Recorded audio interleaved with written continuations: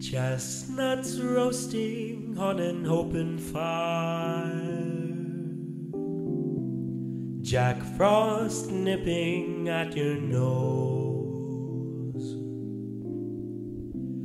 Yuletide carols being sung by a choir, and folks dressed up like Eskimos. Everybody knows a turkey and some mistletoe help to make the season bright.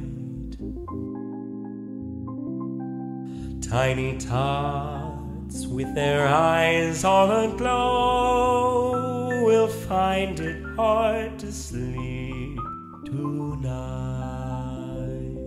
They know that Santa's on his way.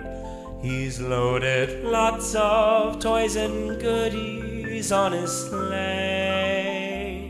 And every mother's child is gonna spy to see if reindeer really know how to fly.